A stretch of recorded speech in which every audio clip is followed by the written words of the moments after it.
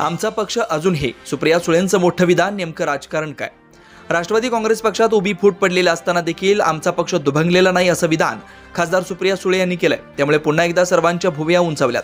अजित पवार यांच्यासह राष्ट्रवादीच्या अनेक आमदारांनी थेट भाजपसोबत सत्तेत सामील होत बंडाचं निशाण फडकावलं होतं. त्यानंतर राष्ट्रवादीत शरद पवार आणि अजित पवार असे दोन गट पडले. पण असं असतानाही आमचा पक्ष दुभंगलेला नाही असं विधान सुप्रिया सुळे यांनी आज दोन जानेवारी शिर्डीत केलंय.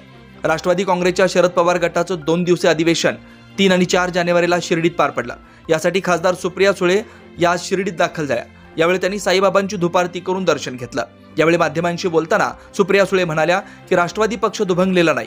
यश अपयश येत असतं तसंच आमच्या आयुष्यात होत आहे असं सुप्रिया सुळे यांनी यावेळी सांगितलं. उपमुख्यमंत्री देवेंद्र फडणवीस यांनी भाजपच्या पक्षीय बैठकीत पदाधिकाऱ्यांना आगामी निवडणुकीच्या पार्श्वभूमीवर निवडणूक हलक्यात घेऊ नये असा सल्ला आपल्या कार्यकर्त्यांना दिला होता. याबाबत खासदार सुप्रिया सुळे यांना विचारलं असता त्यांनी म्हटलंय की निवडणूक सर्व पक्ष गांभीर्याने घेत असतो. मी भाजपाचा विचार करत नाही. सध्या राज्यात मोठी आव्हानं असताना आपण कशाला दुसऱ्याच्या घरात बघायचं? मला काम कमी आहे का?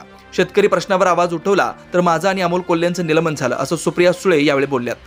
दोन हजार बावीस साली शिवसेनेत सर्वात मोठी फूट पडली. यावेळी दोन्ही गटातील लोकांनी एकमेकांवर अत्यंत टोकाची टीका केली. वर्षभरातच राष्ट्रवादी काँग्रेसमध्ये फूट पडली पण फूट पडल्यानंतरही शरद पवार आणि अजित पवार यांच्या अनेकदा भेटीगाठी होत राहिल्या. एकीकडे दोन्ही आपलीच राष्ट्रवादी खरी असा दावा केला.